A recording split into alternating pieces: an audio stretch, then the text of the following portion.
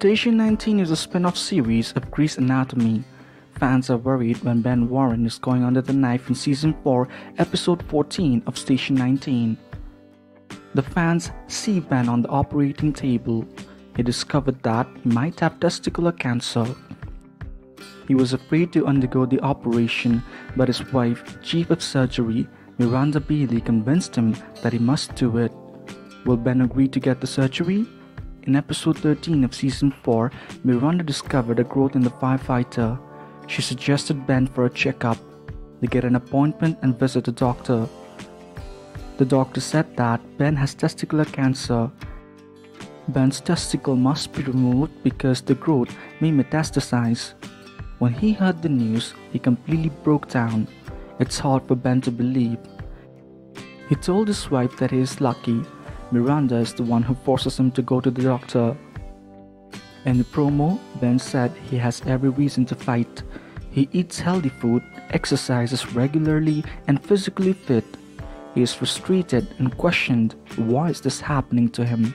Miranda then reminds Ben that she already lost her mother and Andrew. Now she does not want to lose him. She tried to convince him he needs to do the surgery. She reminds Ben of the importance of the surgery. So Ben has to do this for the sake of his wife and children because they need him. She told him, You know the mortality rate of black men and cancer. Further, Ben's partner also supports him. She stood by his side and told him that she knows getting the surgery is not easy, but she is happy that he decides to do it. Station 19 fans worried when they found that Ben has testicular cancer. They wondered what happens next to the character. Will he be okay? Ben's followers shared their thoughts on social media. One Twitter user tweeted, I won't accept Ben is having cancer. Some viewers speculated that Jason George might be leaving the series just like Jesse Williams. So is he really leaving the show? It's reported that Ben is not the character who was diagnosed with cancer and his father and former Station 19's captain, Pruitt Herrera, was diagnosed with mesothelioma at Grey Sloan Memorial.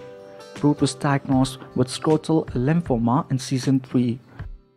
But the former Station 19 captain died in the line of duty and not from cancer.